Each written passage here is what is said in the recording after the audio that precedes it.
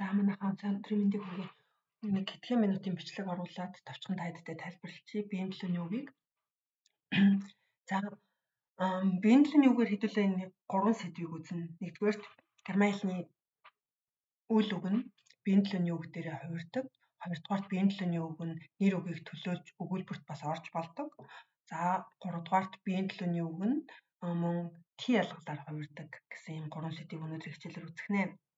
За хамгийн нэгдүгээр биеийн төлөвний үг одоо үйл үгийг хувиргадаг гэж байна тий. Тэгэхээр энэ дээр яг юу гэсэн үг вэ гэдэг эхний слайдн дээр харъя. Гермайлны үйл үг биеийн төлөвний үг дээр хувирдаг. За энэ дээр би бол common буюу монголоор орчуулах юм бол эрх гэсэн монгол лоор орчуулах юм бол эрх гэсэн үгийг жишээгээр авсан байна. Эрх А та бүхэн энэ дээр харж байгаа бол эрэх гэд х нөхцөл залгагдаад э, тухайн үйл үг маань бол яг нь хувраг хэлбэрээр харагдчихээн. За герман хэлэнд бол бүх инфинитив буюу үйл үгнүүд маань en залгагдаж залгагдсан юу яадаг бахна хувраг хэлбэрээр ингэж харагддаг бахна. Бүх en-тэй үйл үгнүүд бол энэ хувраагүй хэлбэрээр харагдаж байна гэсэн үг бахна. За Одоо хэдүүлээ биеийн төлөвийнхөө өгнүүд дээр хадлаа хандуулъя. Төлөвний үг гэж яг юу гэдэг байгаа юм бэ гэдгийг А1-ийнхаа өгдүүдэд би энэ дээр одоо зааж өгч байна. За ich du er sie es wir ihr sie sie гэдэг эдгээр үгнүүд маань бол биеийн төлөөний үг байна. Биеийг төлөөлөөд зогсож байгаа. Герман хэлний нэг онцлог бол үйл үгнүүд нь биеийн төлөөнийхөө үгтээр хувирдаг. За монгол хэлэнд бол үйл үг нөхцлөөрөө хувирагдаад цагаа үсгээ явцдаг болвол герман хэлэнд бол биеийнхаа төлөөний үгтээр хувираад а өнгөрсөн одоо ирээдүйд цагийнхаа дүрмээрээ үйл үг нь цагийг бүтээгээд явдаг байна. Тэгэхээр үйл үг биеийн төлөөний үг хоёр маш холбоотой гэсэн үг. Ярианы хэлэнд ч бай, бичгийн хэлэнд ч бай холбоотой гэсэн үг. Энүүгээрээ герман хэлийг хүмүүс жоохон хэцүү гэдэг.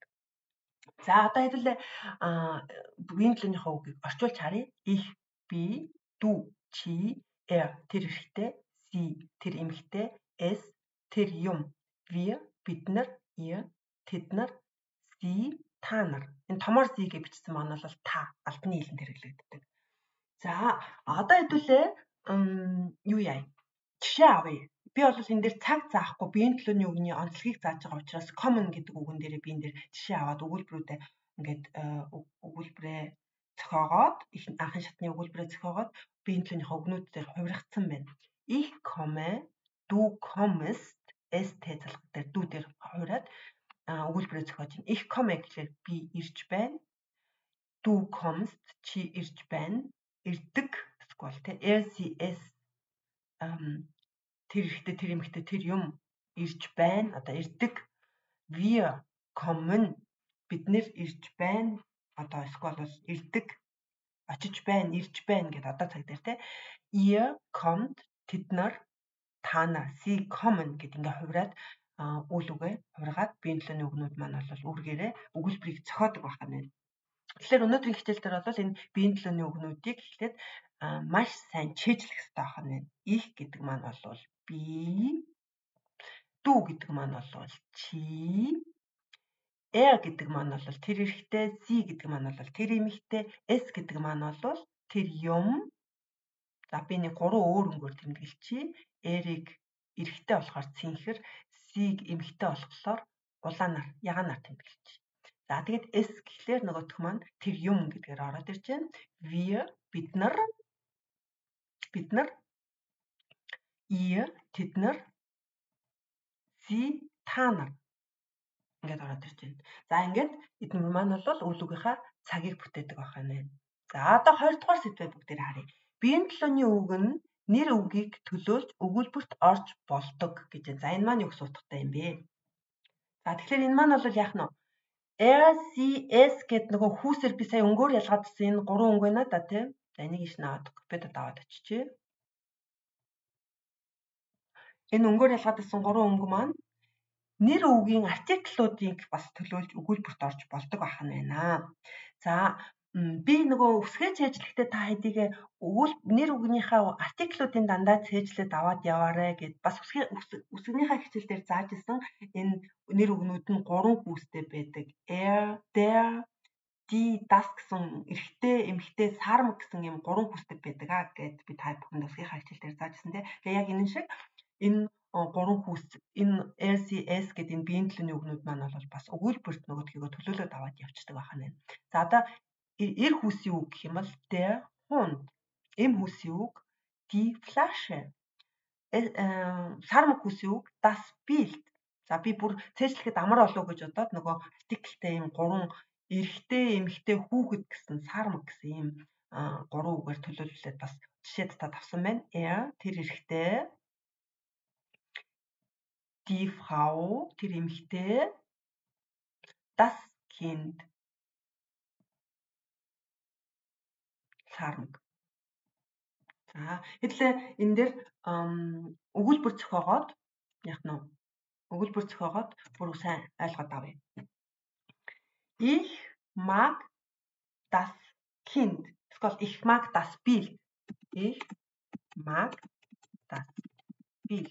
Тэгэхээр би энэ зурганд дуртай гэсэн утгаар орж ирж байна. Би энэ зурганд дуртай. За тэгээд нөгөө өгүүлбэрт энэ үг маань артикла төлөөлөд ороод ирдэг гэхлээр их ма эс гэхлээр яах нь би энэ зурганд би тэрэн дуртай гэж юус ингэж хар ярианд ороод ирж байгаа. Яриа юусе ярианы хэллэгэнд ороод ирж байгаа юм дээр. Эс Эсвэл бол mag die Frau гэх юм бол ich mag sie. Ich mag die die Frau би тэр эмгтэй дуртай гэж. За тэгвэл энэ дээр яах нь их mag sie тэгэхээр энэ эмгтэй дуртай. Ich mag Ich mag den Mann. За энэ аккусативыг хэдүүлээ дараа дараагийн хичээл дээр үзнэ одоохондоо энэ юугаа тайлбарлаа явчих. Юунуудаа их баг ийм гэд ингээд ингээд төлөөлөд ороод ороод явчихдаг байдаг байна. За тэгэхээр эдгээр дэдвийг бол бүгдээрээ сайн ойлгож авах хэрэгтэй нь. За хэдүүлээ тэгээд энэ хүс нэгтэн дээр харъя. Биеийн төлөөний үг 3 дугаар биеийн төлөөний үг нь маань бол нь штэ ялгац гişүн дээр ди дасыг төлөөлөд өгүүлбэрт орж болдог. За мөн нэр үг хүнийг төлөөлж өгүүлбэрт орж болдог. Эд зүйлийг төлөөлж өгүүлбэрт орж болдог. Бас ямар нэгэн абстракт зүйлийг төлөөлж өгүүлбэрт орж болдог байх нэ. За ингээ хэдүүлээ цаашаага 3 дахь өгүүлбэр буюу биеийн төлөөний үг нь мөн дөрвөн Т ялгалаар хувирдаг гэдэг энэ юг хараад үзье. Энэ агсан төвшөнд бол орж ирдэг. За дөрвөн Т ялгал нь ямар ямар Т ялгалууд байдаг вэ гэвэл одоо нөгөө нэг түрүүн RCS гэдэг нөгөө юу байдаг та. Аа артиклууд маань байгаа шүү дээ. Der die das энэ бол der гэдэг маань бол der гэдэг маань бол маскулин буюу эр эр хүүс ахын байна. Das гэдэг маань бол ноёт хүн буюу сармаг хүүс ахын байна. Die гэдэг бол эм хүүс буюу юу байдаг ахын байна. Die гэдэг маань эм хүүс буюу feminin гэж ордог ахын байна. Плурал гэхлээр нөгөө нэр үгнүүд маань олон тоо байгаа шүү дээ ном, номнууд, das Buch, die Bücher гэд ингээд ороод явдаг. За би das Buch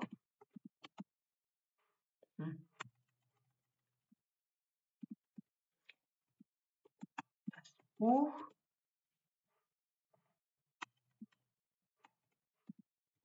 Die Bücher ч юм уу те ингээд ороод явдаг. Тэгэхээр нэр өгнүүдэд та бүхэн маань артиклтай цээжлэх бол маш чухал байгааз. Тэгэхээр эдгээрүүд маань ийм дөрвөн T ялгалт хувирдаг. Нэгдүгээрт nominative буюу одоо 0 хэлбэрт ямантай нэрлсэн хэлбэрт accusative буюу хариалахын T ялгал ин ин ас гэдэг нэг хариалахын T ялгал dative буюу өгөх оршихын ялгал тэрэнд энэнд гэдэг genitive буюу тэрний энэний гэд бас энэ монголоор би одоо нөгөө дөрвийн багшлахаар мэдэхгүй байна. Ингээд дөрвөн т ялгал. Манай Монголд бол 7 т ялгал байдаг шүү дээ. Яг тэрэн шиг Германд бол дөрвөн т ялгал, гурван хүүс, нэг олон тоо байдаг байна. За энүүгээрээ яадгүй гэхэлэр би түрүүн энэ юм дээр өгүүлбэр дээр тайлбарлаж исэн биеийн төлөөний үгнүүд маань одоо ингээд өгүүлбэрт зарим үгийг төлөөлөд ороод ирчдэг. Тэгэхээр акусатив болвол der Mann дэснэ энэ энэ нэг энийг батсан биш үү?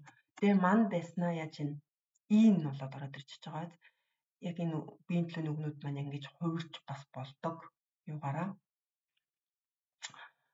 аа биеийн төлөөнийхөө үгээр энийг бол агсан төвшөнд орж ирнэ. Агсан төвшөнд бидлээ үзэн заяа. Энэ дээр энэ дээр агсан төвшөнд үзнэ. Тэгэхээр энийг алгасаад хэдүүлээ энэ дээр анхаарлаа хандуулъя. Өгүүлбэр зохиоход одоо жишээлбэл demand гэхэлэр demand гэдэг маань бол яг нь хувраг үйлбэр дээрээ номинатив дээр байж гэн тэ.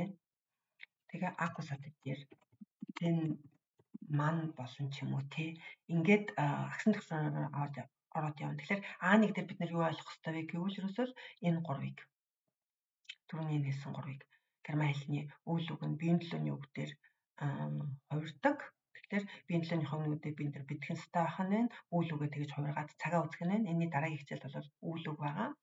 Аа тэгээд биеийн төлөөний үг нь бол ингээд эдгээр зүйлүүдийг төлөөлөөд бас өгүүлбэрт орж болдог. Энэ дээр хэдүүлээ жишээд тад харсан.